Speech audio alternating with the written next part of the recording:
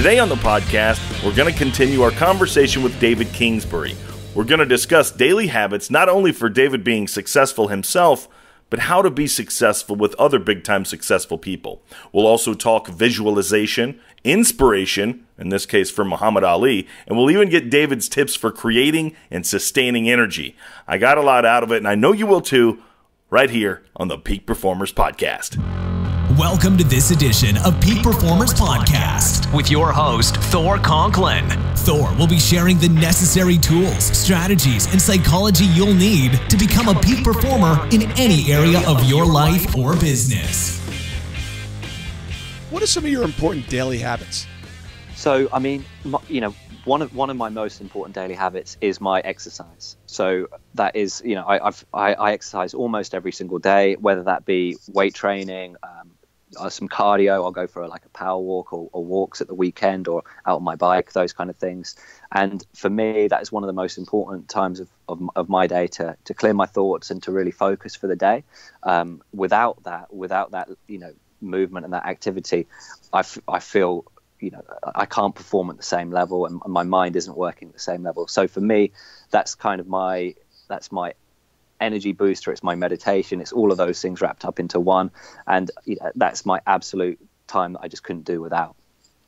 If you had an hour to interview someone dead or alive, who would it be and what would you ask him or her? Yeah, no, I, I think for, um, for me, I'd, I would love to interview uh, Muhammad Ali for an hour. Um, I think you know, from my background in in training and sports and fitness, I would I would love to kind of get an understanding of of, of of every aspect of, of the training and, and, and, all those things that he did. But I also just think it would be a fascinating discussion to talk about, you know, all the hardships and, and, and, and also just his journey from, from where he started all the way through to the to the icon that he became. And and um, I just think it would be an absolutely brilliant opportunity to to to talk to him. You know, even if it was an interview, even if it was just me having a chat, just for just for my set, just for myself, I think that would be a really amazing amazing thing.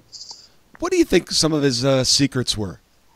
I think, I mean, I think his, his his biggest sort of secret, if you can call it that, is his confidence. Really, I think that for for for for that kind of sport, confidence is so important because if you have any doubt in yourself, if you have any doubt in your ability, um, then it's going to get found out really quickly when you're in the in the ring. And I think kind of actually understanding where that confidence comes from comes from how that's in, how he's instilled it in himself would be one of, one of the sort of really interesting um, questions that you could ask him, and, and and just find out how you know perhaps you could use similar techniques and how or how you know how I could or anyone could use similar techniques to instill that level of confidence within themselves. You know, you're touching on something really interesting here because as soon as you started to say confidence, I immediately went back to identity. And I think he was so yeah. congruent with that identity that he formed. I mean, he literally created that. And through yeah. that identity, I think that's where that confidence came from. Yeah, absolutely. And I, I, mean, you know, I think that with with a lot of that, you can you can it, probably was an act in some ways and you know it, certainly at the beginning it may have been it may have been an act but if you yeah. if you act if you act that out for long enough then sure enough i, I bet it becomes you know it becomes instilled in you becomes the, the way that you know the way you really think are you truly living your potential are you getting the results that you need, want, and desire? There was a time in my life where I was not, and I needed answers. For the last 16 years, I've been obsessed with the question of why some people achieve massive results and others do not. And I found out that it comes down to one thing execution and the ability to take your ideas and plans and dreams and turn them into reality. That led me to the question what are peak performers doing that others are not doing? How do they think? How do they act? What is behind the science of execution? I have now uncovered the secrets to the science of execution, and I want to share them with you. I have an intensive three day event called the Business Execution Summit.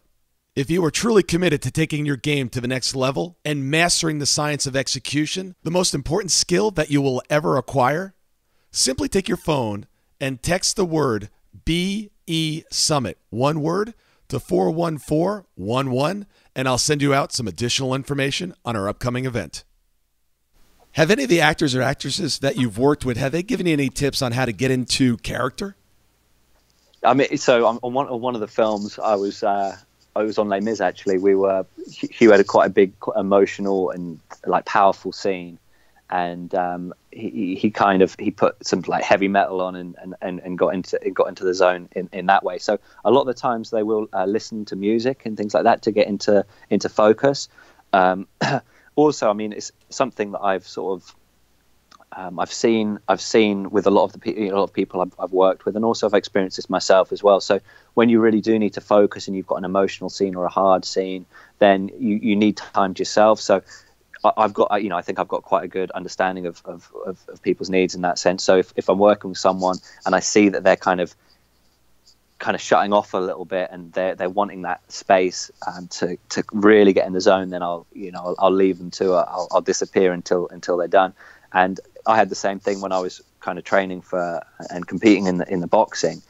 To get into that zone, I just wanted I didn't want anyone to say a word to me. Just wanted to sit and, and, and, and just focus and, and, and concentrate in that sense. So I've never I've never been given advice um, by them as such, but I've, I've certainly seen it um, happen and, and, and, and really they, they use it just you know they're really focused on things with their mind. They might listen to you know the, to music to pump them up or get them into the zone, and um, yeah, it's it, you know it's really interesting to see you know how how different people can either switch it on or sw- and switch it off, so they can just instantly become the character, or whether it is something where they have to be, be kind of coming to work in that mood that day and they stay in that mood the whole day, or whether they can just switch on and off. Because some some of the actors can switch on and off, and others will stay in that zone for long long periods of time. Interesting. So they'll actually leave the studio and go home, and they'll still keep that character uh, going. Yeah, yeah, yeah, and and you know they might have it going for a little bit of time. I mean, whether whether they when they get home they you know they kind of come out character or whatever, but they they might have it for the whole day, even if that's only one scene, or even if they've you know even if they've only got a short period of time where they've actually got to be in that in that zone. Yeah, you know, really interesting. I'm going to play with this uh, tonight, literally when we hang up. no, uh, I, I, because you're tapping into something that we all know, right? And that is, you know, assume the character, assume the identity of who you want to become. You know, goal, goals are all about not what we achieve, but who we become in the process. And yeah, absolutely. I'm going to be leaving this interview, and I'm actually going to. It's a great. It's a, it's a really cool. I'm addicted to this thing. I, I really I need an intervention from my fitness uh, routine. And what this is, it's really cool. It's 60 minutes, and it's 60 stations, and you just go all out for a minute on one thing. So you might be doing push ups for a minute or, or, bench press for a minute or lunges for a minute, whatever it is, or pushing a sled yeah. weights on. And it's to this, you know, crazy music just going crazy. There's 60 people. Uh, there's generally about 10 guys and 50 women. And yeah. it's just like, I just I just love it. And yeah. At the end of the day though, sometimes it can be really draining, right? You have had a hard day, you work all day, mm. and I can always get myself to go because I enjoy it. But what I'm going to do tonight, I'm really interested to see what happens here, is really step into the body of, you know, a Muay Thai boxer or yeah. a, a, professional sprinter or a football player. You know, embody or, or channel someone else and and see how that tw- how it changes and how it energizes my uh, my workout. Because just talking yeah. about it, I can I can feel it. No, absolutely. No, I mean it, that's it's, you know it's it, it, with um, psychologists working with sports people, it's it's a huge part of the visualization is is is that side of things. So, you know, visualizing yourself prior to something, essentially dominating it and or or, or um, you know, or, or, or, you know, succeeding in it. But I really think there is something in actually becoming, you know, having a character for that as well, right? So if you, you know, you have a character that is unstoppable in the gym, then when you when you when you arrive at the gym, then you're going to be training a huge, you know, huge amount more intensity and with much more success than if, if you're going as your, as your tired self and you've had yeah. a hard day at work. Yeah. Well, uh, D- David, in honor of you, and you don't have to put out any sort of uh, restraining order, I'm going to watch one of your videos and I'm going to go. I'm going to work out like yeah. like you today. Yeah. The results may not be exactly brilliant. the same, but I, I'm I'm going to channel you through my workout tonight. Fantastic. No, I'm telling you, your your videos. If you're listening to this broadcast, go check out David's interview. His, he'll give you his website address here shortly, but check him out. He is the real deal. Let's talk about energy just for a second as we're on this uh, topic. Any other techniques, tricks, tips, uh, strategies on creating energy. One of the things that a buddy of mine recently gave me was he said, Look, you're eating a lot better. You're not eating the processed foods, you're eating clean. He goes, You got to add some salt back into your life. I'm like, Why do I want to add salt? He goes, Wait till you see what it does to your energy. And sure enough, a little bit of salt on my food, it's like, bam. It's like, what yeah. is this stuff? Yeah, no, I mean, so salt, salt's, salt's kind of got a, a bad reputation. And having too much of it is obviously an issue. But if you're highly active and you're you know you're training a lot you're, and you're sweating a lot, then you lose a lot of salts naturally. And by increasing your salt intake, it's actually it's, it's going to be really really beneficial for your energy levels, for your recovery, for your muscle condition, and and and and your, even sort of your muscle contractions and, and your performance. Um, so you know adding salt so you know not just sodiums but potassiums and all, all the all the you know the the var- you know all the salt all the kind of various salts adding those in is going to is, is really beneficial for performance especially if you're highly active and, and you, you often you know you're drinking a lot of fluids essentially um, uh, the sort of pink Himalayan salts they're, they're yep, really good for, that's what I have for that yep. yeah because they've got they've got kind of a, a breakdown of of, of, of, a selection. So you're getting more than more than just kind of sodium that you would get from classic ta- table salts. So I mean that's that's a that's a really kind of nice um, nice nice addition um, to that. What the, I mean the, the, main the main ones um, that I see with in, people are hy- hydration. Um, so you know people that you know off, if they don't drink enough water, their energy levels are really really going to suffer. Um, I mean sleep goes without saying, right? A lot you know so many people do not get enough sleep. So, like 99% of the world's population, we need about eight hours sleep. So, that is the kind of area to focus on. I know that's not necessarily possible every day, but if you can aim for those eight hours, then that is ideal for energy levels. Um, obviously, like I said, staying hydrated is, is, is very important. Um, also, balancing your blood sugar levels. So, not you know, not having too many simple sugars where you're going to see a spike in your blood sugar levels because then when that drops back down again that's when you get that sugar crash and you, you, you know you're burnt out that's when you kind of feel like you're going to pass out because you're so tired and you reach for that second sugar snack which yeah. then brings you back up and you're in that you're in that endless cycle yep. every you know all day long yep. essentially so you know managing um, your blood sugar levels is, is really really important for consistent energy throughout the day so to do that having lower carbohydrate or at least steady release carbohydrates throughout the day instead of sugar, simple sugars, is, is really, really important for energy.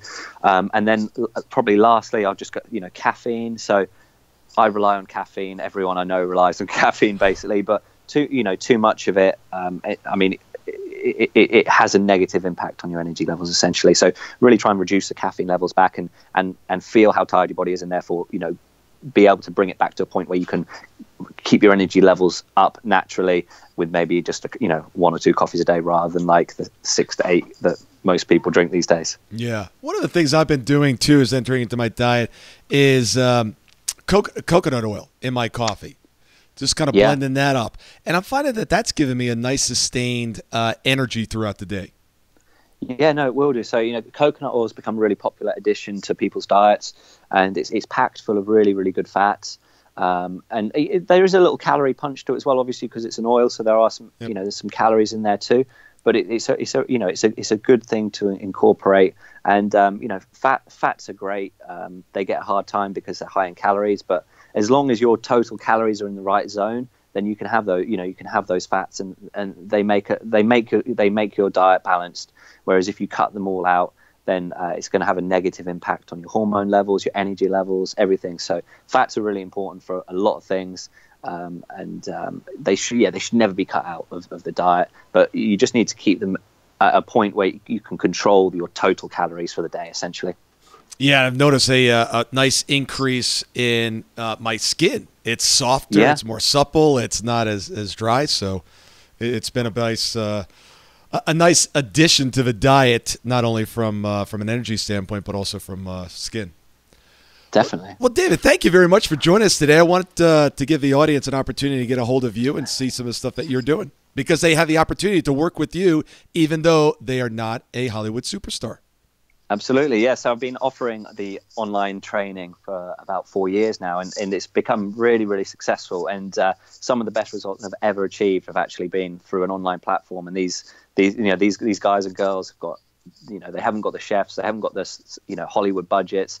They're just hardworking, you know, hardworking people that are motivated. They've got huge amounts of willpower, and for me, it's the most exciting side of my business now. And if you want to find out more information on that side of things, you can look at my website, which is www.davidkingsbury.co.uk. Um, or you could also reach me on Instagram, which is at, um, hashtag Team Kingsbury or at Team Kingsbury. Um, and then also Twitter, which is at David Kingsbury. And any one of those places, if you've got any questions you, would like me to answer, feel free to send them, and I'll get them answered. And uh, yeah, just you know, check out the plans and, and check out all the brilliant free content I've got on my blog as well. That is awesome, David. Thank you so much. And next time you run into that other Thor, Chris, whatever his name yeah. is, tell him that uh, the real Thor from uh, the U.S. Uh, said hello. I'll, I'll, I'll, give him an email. I'll tell him he'll have to change his name. as soon as those movies came out, people were like, "Oh, did you name yourself after?" Yeah, exactly. Like, oh, yeah, yeah. come on, Chris, you're yeah. killing me. Yeah, I know exactly. All right. Well, David, thank you very much. I Brilliant. Look, for, look forward to having you back on the show. Thanks. Fantastic. No, I really appreciate it, Thor. Thank you so much. Thank you. Thank you so much for listening today. I really do appreciate your time, and I hope you found today's show valuable. If you would like to receive these shows automatically to your phone or to your computer, simply go to iTunes and subscribe. After listening to several of the shows, if you're so inclined, please leave us a five star rating, as this helps us reach additional people and spread the message. If you're truly committed to taking your life to the next level and doing whatever it takes to become a peak performer, but something's holding you back, something is blocking your way, and you just can't seem to figure out what it is, send me an email to info at thorconklin.com. And I'd be more than happy to get on the phone with you. We'll schedule a 15 minute discovery call. No obligation, no cost. I absolutely love to hear from the listeners. And if there's something I can do to help, I'd be more than happy to do that. Also, if you found something of great interest in today's show and you want to share that with your friends and family, simply go to my Facebook page, Thor Conklin, click on the episode, hit the share button, and share it on your page. You can follow me at Twitter at Thor Conklin the website is thorconklin.com. We're constantly adding new free resources, discussing additional tricks, tips, tools, and strategies on how to be a peak performer. Remember, I try to keep these episodes short so you can listen to them during dot time, doing other things, commuting, driving, walking, working out. Decide to be a peak performer in all that you do. And until tomorrow, have an absolutely amazing day.